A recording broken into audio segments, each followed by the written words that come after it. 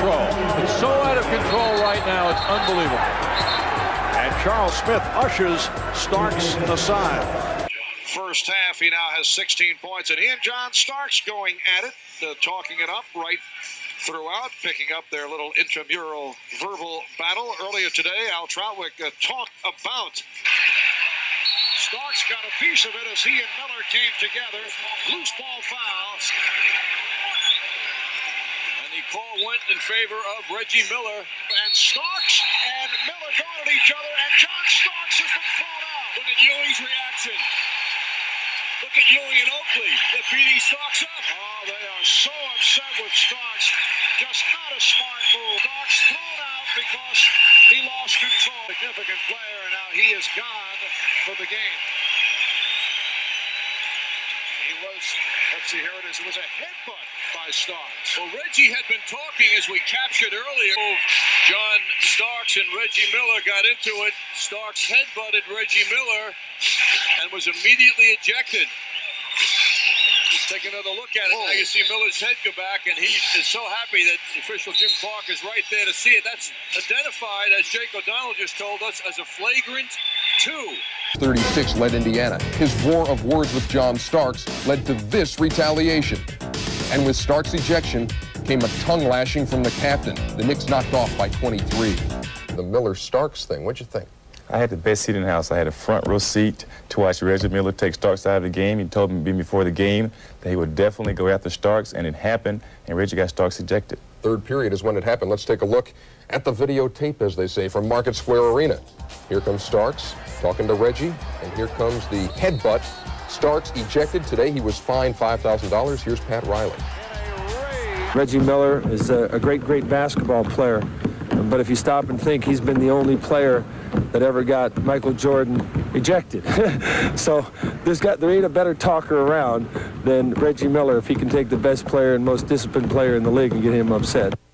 We get the point, but just to clarify, Jordan was not ejected. He was later suspended after the first run-in with Miller. You played with Reggie. Is this, this all part of the package, all the talk? Well, I tell you, it looks like Hulk Hogan headbutt, uh, only 150 pounds lighter. but Reggie's a great trash talker. Some people call it arrogant. Reggie calls it confidence. He's very confident in his abilities to play the game, and he'll take anybody out of the game if they listen to him. Reggie loves people to answer back to him, and if they do, they're in trouble, like Starks did. He sort of gives that body language, like, get off me, you ain't good enough to check me. When we're on the road and he gets on a, on a on a string of, of hitting shots, and he he talks to fans, he talks to the players, he talks to everybody. He was talking uh, in game three, you know, but that didn't bother me at all. It was just, you know, when somebody start uh, take cheap uh, cheap shots on you, then, uh, you know, you can only take so much. What did your teammates tell you at the court when you walked off? they told me it was uh, a bad move on my part, which it was. And uh, I accept the blame, and, uh, you know, but we have to deal with it and, and move on. I don't think I, I did anything to John to make him mad. I think something happened earlier in the day. Maybe room service was late or something, or something like that. so I don't think it was what, between him and I, I don't think that's what made him upset. He never stops talking it, even in the locker room. I mean, he's making light of the thing. And, I mean, how does, what's a player's viewpoint? What did you think when you saw that happen last night? Well, I tell you, Reggie, after the game, he said he thought Starks ordered uh, Reggie Miller doll, and, and, then and they didn't give it to him so he can stick the pins in it so Reggie wouldn't show up. Obviously, it didn't work. Reggie showed up, Starks didn't. And that, they say, is that. The other side of trash talk, though, is being able to take it and not letting somebody ruffle your feathers and not hurting your team like John Starks did. He, he lost it and went after him. Well, John Starks is one of the frontline players, and for them to win against the Pacers, he has to be there. He has to score 20 to 30 points for them to be successful. If he's not there, I think it's going to be a game five if he doesn't, if he doesn't show up and play well. To tell you the truth, I really don't talk trash. Um, I think that incident was more because, uh, you know, John was running out and I was hitting threes on him, and uh, he got a little bit frustrated. But, um, you know, it's more to motivate myself. You know, I'm a very self-motivating guy, and it gets myself pumped up. It is not to de degrade anyone. Um, I go out there to have fun, and uh, it, to get the crowd into it, and I think he took it kind of personal. Well, what do you say? how Well, did that's you get what- under my skin if, if, if I was guarding you or you were guarding me? Well, first of all, I'll tell you this tie is a Kmart tie. and then I'd tell you, uh, you know, this little handkerchief. And you know what probably I bought at do? the I go Walmart. boom. and I- John's a fierce competitor, and um, I give him credit for that. But um, so much was made of New York's uh, mental toughness, and I wanted to test that. And, um, you know, I succeeded. Here, Reggie Miller trying to get Allan Houston to lean in to draw that foul. Houston does a good job of avoiding, but no protection in the backcourt. It's rare to get that kind of an easy basket in playoff situations. Mullin down the lane. Beautiful move from Chris Mullin. And we have some pushing and shoving after the basket. Starks. He may have been thrown out of the game. Terry Durham, I believe, just threw him out of the game. Durham signaling, pointing his arm up in the air as if you're ejected. Did not make a technical foul sign, but Warby threw him out. Now the officials are going to get together here to try to decipher what happened. I saw Chris Mullin immediately go over to Reggie Miller and say, keep quiet. I think you're all right. Starks and Miller coming off the baseline, getting all tangled up. Nothing unusual there.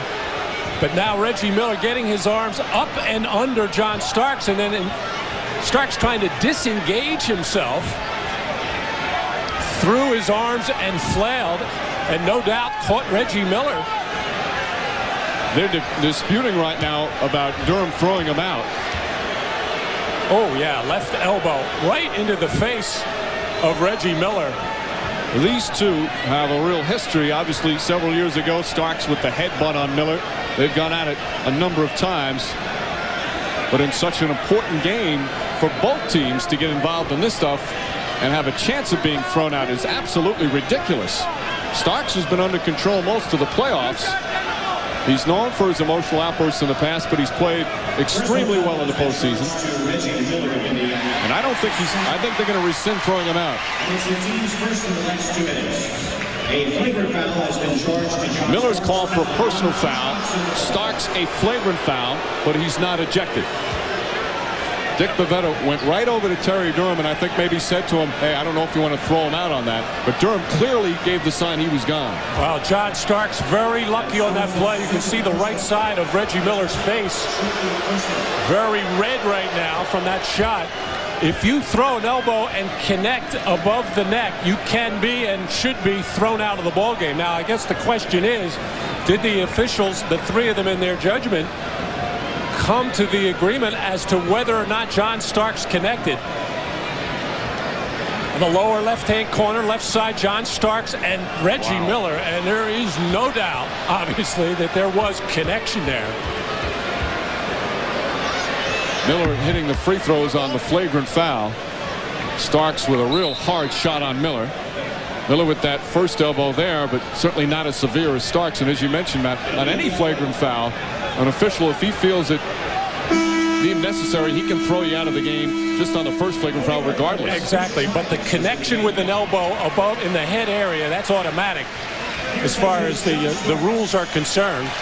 Jeff Van Gundy will wisely get John Starks out right now. But with all that bumping and grinding and grabbing and holding, a foul should have been called before that.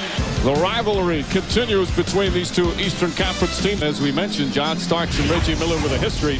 One of the uglier moments of their postseason history occurred back in Game 3 of the 93 Eastern Conference first round. Starks headbutting Reggie Miller. And they've got into it quite a few times over the years. And this is from today. Starks throwing the elbow. Now, we just spoke with Dick Bavetta. And he told us the reason they rescinded Starks being thrown out of the game was because Terry Durham, who threw him out, was then told by another official that it was Starks retaliating from a previous elbow. Quite an extended period for John Starks at the point guard position. And now Charles Oakley looking for a flagrant foul to be called on, on Indiana that he was hit with one earlier.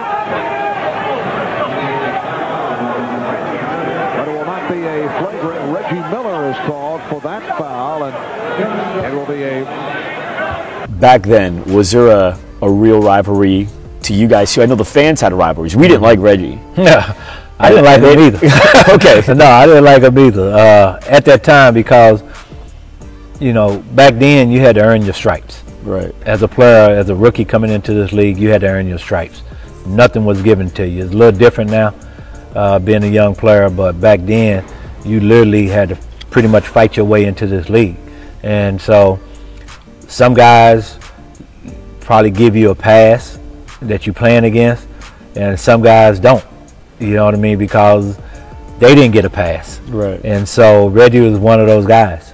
You know what I mean? He didn't get a pass. He literally had to be tough enough to play in this league because obviously he's 6'8", but he wasn't built. Right. You know what I mean? So people didn't think he was tough enough to play in this league, and they would come at him. But he proved that he was tough enough to play in this league. He passed the test.